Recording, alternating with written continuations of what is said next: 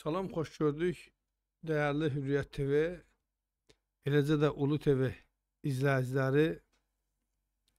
Studiyada mən Vüqar Tofiqoğlu, hər birinizi salamlayıram, hər birinizə xoş yay arzulayıram inşallah.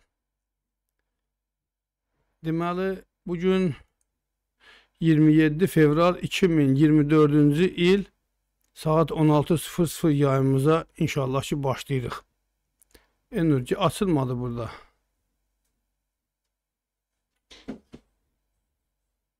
Çox üzürlü sayın dostlar. Nəsə bizim program aha açıldı. İndi açıldı. İndi gəldi, bəli. Kompüter mənim qarşımda açılmır, ona görə də üzürlü sayın dostlar.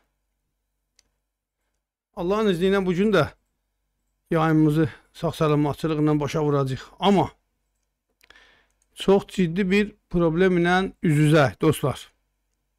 Çox ciddi bir problem ilə üz-üzəyik. Xatırlayırsınız o günlərim Oğuzdan mən bir William adında bir kişini mən biləndə William'dı adı. Hı? Onları qoşmuşdum və orada videosunu göstərdim. Onun ayağı qangren olmaz ayağını göstərdim. Üzümüzə açığı Allah güldü. YouTube kanalımızı spama atıb. 40 gün bizə çox ciddi şəkildə xəbərdarlıq ediblər ki, bir daha belə video yayacağınız təqdirdə kanalı ümumiyyətlə siləcəyik. Bundan dolayı sizin hər birinizdən bir xahişim var. Əgər birdən bizim kanalımız bağlanarsa Hürriyyət TV, Hürriyyət TV bağlanarsa mütləq hər kəs keçsin Ulu TV-yə. Ulu TV bizim ehtiyat variantımızdır. Bir kanalımızdır. Hərdən birdən imkan düşdükcə orada videolar paylaşırıq ki, aktiv qalsın. Amma kanalımızın bağlanma təhlükəsi var. Yəni biz bu təhlükə ilə üz-üzəyik. O da vətəndaşlar bəzən görürsən ki, adamı məcbur edirlər ki, bunu sən ictimailəşdir, göstər və göstərəndə də biz həmin videodan dolayı bu cür xəbərdarlıq alırıq. Orada yazır ki, şiddət içərən videolar paylaşmayın. Əslində burada qeyri-adi bir şey yoxdur. Bilmirəm niyə YouTube bunu şiddət içərən kimi qələmə verir, onu deyə bilmərəm. Salamlaşım, sonra Allahın izni ilə əlavələr eləyəcəm. Gülnaz xanım buradadır, Hacı Rəcəb buradadır. Salamlayıram. Mütəllim Məsimov, salam Vüqar bəy, verilişlərinizə bir hərbi ekspert həmişəlik dəvət etsəydiniz, biz də dərdimizi deyə bilərdik, yəni hərbi pensioneri. Çətindir, bizdə hərbi sahəsi üzrində üzərin deməli, sahəsi üzrə mütəxəssislər demək olar ki, yoxdur əzəsində. Bir Üzeyir Cəfərovdur, da onu da kim harda tutdu, qardaş, kim daha doğrusu qabaqcadan, beylədi, beylədi. Tuta bilmədi, getdi, əldən çıxdı. Başqa heç kəsi biz dəvət eləyə bilmirik. Çünki Azərbaycan ordusu bu günə qədər mütəxəssis yetişdirməyibdir, görsənən budur. Təəssüflə qeyd eləmək istəyirəm ki, bu qədər bizim pensiyada olan hətta generallarımız var. Bir dənəsi də qorxusundan media ilə əlaqə saxlamır. Öz biliklərini paylaşmaq istəmir. Ya bu biliksizlikdən irəli gəlir. Yəni onlar biliksizdirlər, sadəcə savadsız olduqlarına görə çıxıb burada hər hansısa bir şey cavab verməkdən qorxurlar. Ya gözləri kölgəlidir, qorxurlar ki, ora çıxan kimin pislik elədikləri adamlar hamısı efirdən onları söyəcəklər. Düzmü dostlar? Ya da ki, nə bilim, başqa məsələlər var. Seyran Həsənov Salamlayıram dostumuzu. Rıza Met, salam Vüqar bəy, artıq populyar olmuş Hürriyət TV. Salam Azər Azərcanın mentalitetində toy və yas mərasimlərində cindi dəyişikliklər olmasa, bizim cəmaat kasıbçılıqdan yaxa qutara bilməyəcək. Şahmat. Salamlayıram qardaşımı da. İbrahim Fəthullayev. İbrahim bəy, sizə xüsusi salam verəcəyəm. Uzun müddətdə sizi görmürəm və hər dəfə də sizin adınızı çəkirəm ki, bu İbrahim bəydən bir xəbər yoxdur. Deyərsən şükür Allah. Qayıdıbsınız kanalımızdasınız. Azad Lətifov salamlayıram. Zakir bəyi salamlayıram, Arzu xanımı, Eyvaz bəyi, Yusuf bəyi, Təbliğat qardaşımızı, Gülnar xanımı və digərlərini, Miral Əkbər bəyi, İlham qardaşımızı, Ələddin qardaşımızı, Kamal Qazıbayev qardaşımızı, yəni hər kəsi dostlar, hamınızı mən salamlayıram. Nizami bəy burdadır. Gəldi artıq Nizami bəy salamlayıram. Əmrah Baxşıdını salamlayıram dostlar. Deməli təxminən bildinizdə söhbət nədən gedir? Dünən paylaşdığımız videolar silinibdir. O günkü videomuza blok qoyulubdur və o videoları hissələyir ki, həmin hissələr də hamısı silinibdir YouTube tərəfindən və ciddi şəkildə xəbərdarlıq olunub. 40 günlük biz spamdayıq, bu biləsiz. 40 gün. Yəni 1 ay 10 gün YouTube bizi incələməyə aldı. Bir dənə o videonu yaydığımıza görə. Təbii ki, bu da bizim səhvimizdir, gərək eləməyək. Sevdə xanımıma salamlayıram, Sabir bəy də salamlayıram, Heydər Ağayevi də. Təəssüflə qeyd eləmək istəyirəm ki, biz bu səhvə yol verdik. Verməməliyik əslində baxsan, amma bəzən görsən ki, insan ürəyi dözmür. İnsan ürəyi dözmür, əsəbləşirsən Sahil Babayevə, komissiya üzvlərinə və həmin videonu paylaşıb gözlərinə soxmaq istəyirsən materialı ki, Ay hörmətsiz Sosial Müdafiə Nazirliyi bu cür adama ikinci qrup əlil statusu vermək olmaz. İkinci qrup faktiki olaraq bugün işləyənlər də var. Yəni ikinci qrup əlil özü özünü idarə eləyənə deyirlər. Amma bu William kişi özü özünü idarə eləyə bilmir ki. Ayaq qanqrena, bədən paraliz paraliz olundu, hərəkətsiz Yeməyi başqası yedirdir, ayaq yoluna başqası aparır. Və bu gün mənə məktub göndərdilər onlar. İndi onu e, Allah qoysa sabah oxuyacağam. Məktubda Sosial Müdafiə Nazirliyi nə yazıb? Yazıb ki, 80% dəyərləndirildi sizin sağlamlığınız, şey əlilliyiniz. Ona görə sizə ikinci qrup düşdü. Yəni 80-dən 1% o yüzden versələr, bu düşür məsələn birinci qrupa. Birinci qrup verməməsi üçün onu faizi müəyyənləşdiriblər. Və indi gələn efirlərində bir autizm xəstəsi var, uşaq. Həmin uşağı da qoşacağam mən, anasını qoşacağam efirimizə. Görəsiniz, ona da bütün həkimlər, fikir verin, ha, bütün həkimlər ağır dərəcəli autizm xəstəsi olduğunu verirlər, qeyd edirlər. Reabilitasiya mərkəzi anası anaya deyir ki, bəlkə sən gəlib bu sənəddən hamısı rüşvətlə alıbsan. Ona görə biz qiymətləndiririk ki, bu iki, ikinci qrupdur. Ana çox gözəl bir söz dedi bayaq mənə. Dedi Vüqar müəllim, mən həkimə dedim ki, bu ikinci qrupdur. Fikir verin ha. Deyir həkim dedi ki, bəli, ikinci qrupdur. Yəni özü özünü idarə eləyə bilir. Həkim dedi, bəli, özü özünü idarə eləyə bilir. Deyir, dedim onda sən qızığı verərsən mənim oğluma. Fikir verin. Mən Anaya bir siz nə qədər hörmətim artdı. Kişi adamdır. Bu xanım o həkimlərdən qat qat qat qat kişi adamdır mərddir. Deyə dedim həkim, əgər mənim övladım sağlamdırsa, problem deyil. Qızıl ver mənim oğluma. Verərsənmi? Deyir həkim sustu. Bax bu cür eləmək lazımdır. Həkimlərə bu cür eləmək lazımdır.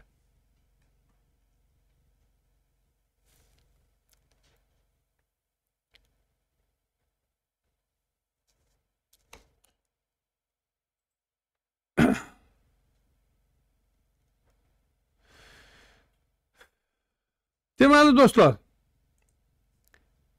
bugün redaksiyamıza bir məktub daxil olubdu. Mən bunu bir bir balaca. Deyəsən bunu boşaldası olacağım. Dostlar, üzülü sayın.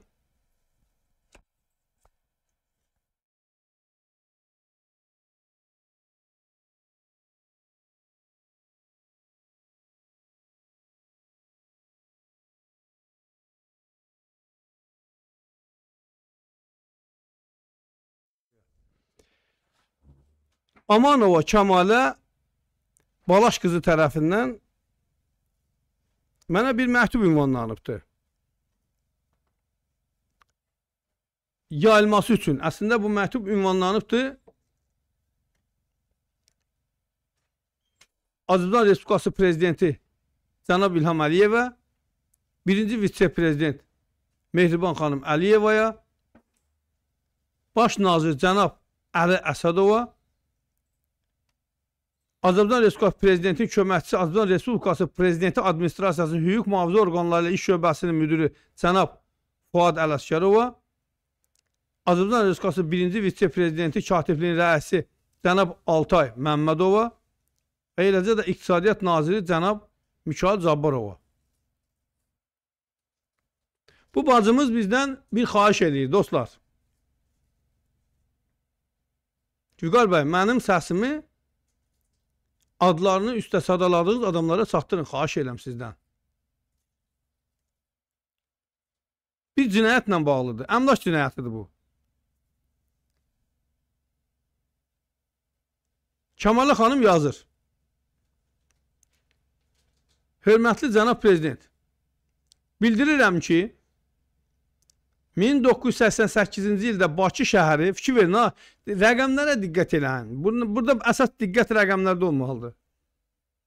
Bakı şəhəri Hövsan qəsəbəsi inturist bağçılıq yoldaşlıq cəmiyyətinə aid olan ərazidə tikilmiş 3 drop 1294 nömrəli bağ evini almışam.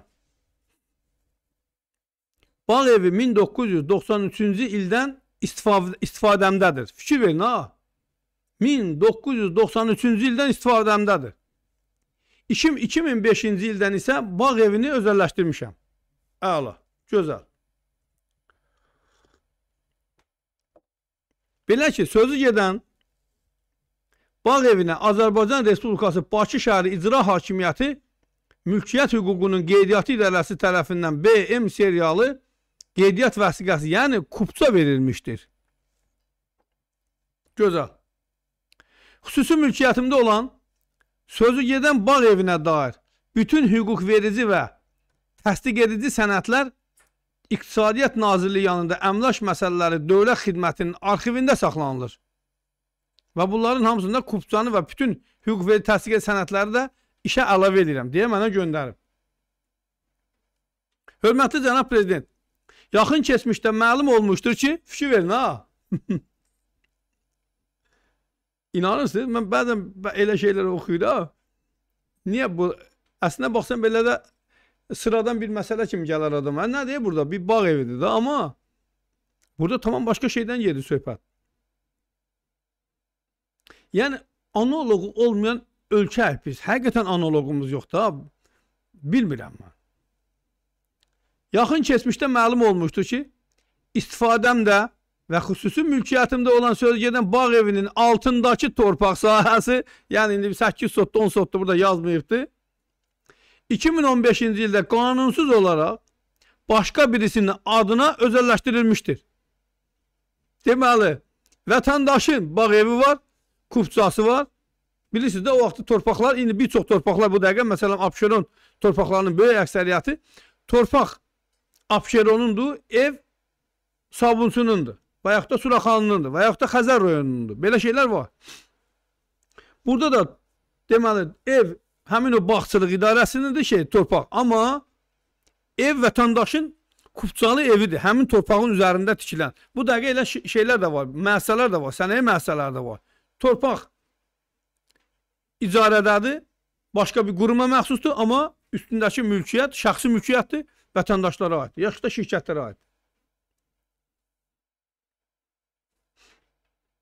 O dövrdə Əmlak Məsələləri Dövlət Komitəsinin sədri Kərəm Həsənov olmuşdur. Bu cinayət o dövrdə Dövlət Əmlak Komitəsinin rəhbərliyində yer alan və hal-hazırda da Əmlak Məsələləri Dövlət Xidmətinin sədr müavini vəzifəsində işləyən Rüstəm Şahbazov tərəfindən törədilmişdir. Fikir verin. Hər ikisi hal-hazırda Rüstəm Şahbazov İqtisadiyyat Nazirinin yanında Əmlak Məsələləri Dövlət Xidmətinin sədr mavinidir. Kərəm Həsənov isə mən bilənim prezidentin ya köməkçisidir, ya da prezidentin müşaviridir. Xüsusilə vurğulamaq istəyirəm ki, Rüstəm Şahbazov bir qrup qanunsuz qruplaşmalarla qabaqcadan əlbir olaraq törədilmiş və başa çatdırılmış bu cinayətin üstünü örtbasır etmək və izi itirmək məqsədi ilə sonradan həmin torpağa dair bir neçə dəfə özəlləşdirmə əməliyyatı aparmışdır. Yəni bu deməkdir ki,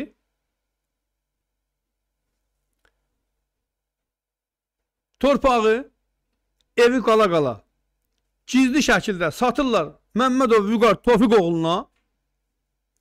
Sonra Məmmədov Vüqar Tofiq oğlunun sonra deyirlər ki, sən də sat Elnura. Elnur satır Kərəm Həsənova. Kərəm Həsənov satır Şahbaz Rüstəmova. Şahbaz Rüstəmov satır bir başqasına. Yəni ev təxminən minimum 5 adama satılır həmin torpaq. Arda-arda olaraq. İz itirmək üçün. Bu maxinasiyalar dostlar harda baş verir əsasən?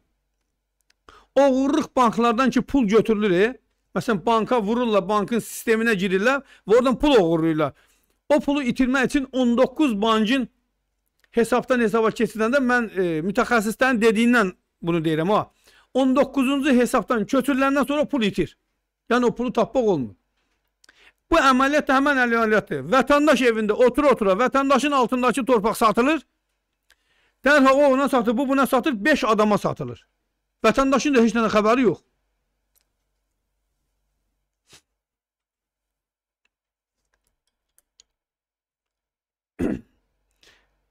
Faciəmiz ondadır ki, Rüstəm Şahbazov hal-hazırda İqtisadiyyat Nazirliyi yanında əmlak məsələləri Dövlət Xidmətinin sədr müavini vəzifəsində işlədiyi üçün bu cinayətin üstünün açılmasına imkan vermir.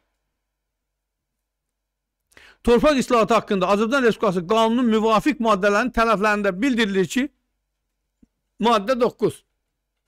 Vətəndaşların qanuni istifadəsindəki torpaqların özəlləşdirilməsi, vətəndaşların qanuni istifadəsindəki fərdi yaşayış evlərinin, həyatyanı sahələrin, fərdi, kollektiv və kooperativ bağların, dövlət bağçılıq təsərrüfatının idarəçiliyindəki bağların altında olan torpaqlar qanunvericiliklə müəyyən olunmuş qaydada əvəzsiz olaraq onların mülkiyyətinə verilməlidir. Fikir verin ha. Qanunun 9-cu maddəsində deyir. Əvəzsiz olaraq. Yəni satıla bilməz.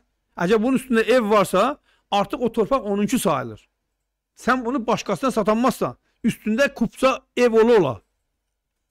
Qanunvericiliklə müəyyən olunmuş qaydada bağ evimin altında olan torpaq əvəzsiz olaraq mənim mülkiyyətimə verilməli olduğu halda o dövrdəki əmlak məsələləri Dövlət Komitəsinin rəhbərliyi sədr müavini Rüstəm Şahbazov vəzifəsindən sui istifadə edərək və vəzifə səlahiyyətlərinin hüdudlarından kənara çıxaraq bir qrup qanunsuz qruplaşmalarla əlbir olub, mənim bağ evimin altındakı torpağı özününkiləşdirilmiş və törətdikləri cinayətin üstünün gələcəkdə açılmaması üçün tez-tez digər şəxslərin adına özün, özününkiləşdirmə əməliyyatı həyata keçirtmişdir.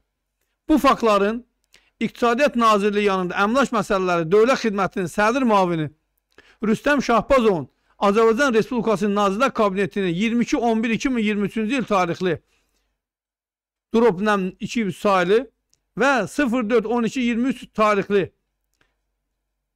8 Drop 2023 sayılı nömrələrlə İqtisadiyyat Nazirliyində qeydiyyata alınmış məktublarına verdiyi 09 fevral 2024-cü tarixli 08-2023 nömrəli cavab məktubu ilə təsdiq etmişdir. Belə ki, bağ evinin altında olan torpaq sahəsinin başqa-başqa şəxslərin adına özünkiləşdirilməsi özünkiləşdirildiyi bildirilmişdir. Subut üçün məktubları da sizə göndərirəm. Məlum məsələdir ki, əmlak məsələləri Dövlət Xidmətinin sədr müavini Rüstəm Şahbazov 30 ildən artıq mənim istifadəmdə və xüsusi mülkiyyətində olan bağ evinin altındakı torpağı ancaq maddi maraqlar naminə küllü miqdarda aldığı rüşvətin müqabilində özünkiləşdirmişdir. Hörmətli cənab prezident Mehriban xanım, mənə məxsus mülkiyyətimdə, xüsusi mülkiyyətində olan bağ evinin altındakı torpağın satılması faktı ilə bağlı vəzifəsindən sui istifadə edərək vəzifə səlahiyyətlərinin hüdudlarından kənara çıxaraq maddi maraqlarının təmin olunması müqabilində bir qurum, bir qrup qanunsuz qruplaşmalarla əlbir olub. Bu cinayəti törətmiş Rüstəm Şahbazov və digərlərinin qanun qarşısına cəzalandırılmaları üçün aidiyyəti qurumlara göstəriş verməyinizi və bu işdə sona qədər işi də sona qədər nəzarətinizdə saxlamağınızı sizlərdən xahiş edirik. Yəni dostlar, indi bu gəlirəm bizim dostumuza Şahbaz Rüstəmova. Şahbaz Rüstəmov haqqında Wikipediyada yazır. 1963-cü ildə 29 iyunda anadan olub. 1989-da Rusiyada Maliyyə İqtisadiyyat İnstitutunu bitirib. Sonra Bakıda Mühasibə Uçotun İqtisadiyyat Universitetində 95-ci illərdə Azərbaycan Dövlət İqtisad Universitetinin İnstitutunda aspiranturada təhsil alıb və ondan sonra Əmlak Komitəsində işə girib. 95-ci ildə. 2006-cı ildə prezidentin sərəncamı ilə deməli, dövlət əmlakının idarə edilməsi üzrə Dövlət Komitəsinin sədrinin mavini vəzifəsinə təyin olunub. 2009-cu ildə 3 ildən sonra prezidentin sərəncamı ilə əmlak məsələləri Dövlət Komitəsi sədrinin mavini vəzifəsinə təyin edilmişdir. 2020-ci il tarixdən isə İqtisadiyyat Nazirliyi yanında əmlak məsələləri Dövlət Xidmətinin rəisi vəzifəsində çalışmışdır. Yəni anlayacağımız odur ki, təxminən təxminən Nəzərə alsaq 95-ci ili 2029 ildir 29 ildir dostlar. Bu adam Əmlak Komitəsində yüksək vəzifələrdə işləyir və bunun da az qala 20 ilini muavindir. İndi maraqlıdır. Birdən bu adam öldü. Ürək tutmadan. Bunun yerinə kim baxacaq? 20 ildir bu adam bir kreslonu zəbt eləyib 30 ildir. Oturub orada. Bu adam ölsə bunu kimə vəz eləyəcək? Bu nə yanaşmadır? Qardaş, əgər bu kreslolar satdıqdırsa, satlığa çıxardılırsa, bazara çıxardılırsa ki, məsələn, gəlin bu kreslonu satırıq 30 illik, 40 illik, ömürlük, nə bilim, 3 illik, 5 illik, 10 illik, bunun da qiyməti budur. Hər kəsin getsin, hesabın, kitabını bilsin, getsin, məsələn, bəlkə elə o kreslonu mən də istəyirəm. Əgər o kreslonun qiyməti 1 milyonsa, gedib bankdan girərəm, 1 milyonluq bir dənə pul götürərəm, aparıb o lazım olan dövlətin büdcəsinə pulumu ödəyərəm, gələrəm o kreslonu alaram, oturaram o kresloda, ondan sonra istədiyim adamın bağını da sataram, torpağını da sataram, malını da, mülkünü də, hər şeyində. Axı bu nə deməkdir? Bu necə yanaşmadır? Mən buradan cənab prezidentə səslənirəm. Cənab prezident. Bu adamlar niyə 30 illə hakimiyyətdə otururlar? Niyə bu 30 il kresloda oturmalıdır? Axı bu adamın artıq onurğası da əyilibdir bəlkə də kresloda oturmaqdan. Yazığın beli qırılır o kresloda oturmaqdan. Buraxın da bunları. Yeniliyin də 5 ildən bir heç olmasa bunları yeniliyin də. Olmaz axı belə. 5 ildən artıq adam oturanda artıq mafiyalaşır adam. Çünki niyə? Oranın dədəsinin mülkü hesab edir. O hesab edir ki, bu bunun dədəsinin mülküdür. Və burada buna heç kəs heç nə deyənməz. Ona görə deyir ki, burada mənəm, Bağdadda da kör xəlifə. Və istədiyini eləyir. İstədiyi kimi eləyir. Hansı quruma baxırsan 20 il, 30 il, 20 il, 30 il. Eləsi var ki, artıq mən bilmirəm, Azərbaycan tarixindən də qabağa düşür müstəqillik dövründən, yəni Sovet hökumətinin vaxtından oturub 80-cı illərdən. Bu dəqiqə nə bilim 90-a yaşı yaşı var. Əsə əsə belə belə baş silkələnə silkələnə gəlir girir şeyə. Oturur kresloda otura da bilmir. Yanından iki dənə də adam gətirir bunu. Oturdu oturunda baş üstündə durmur. Ya, buraxın bunları da. Qardaş nə istəyirsiniz axı?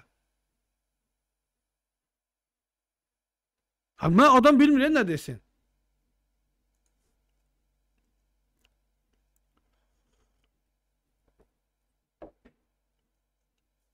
Deməli Seyran Həsənov yazır ki, artıq neçənci gündür ki, verilişin başlanması barədə bildiriş gəlmir. Seyran bəy,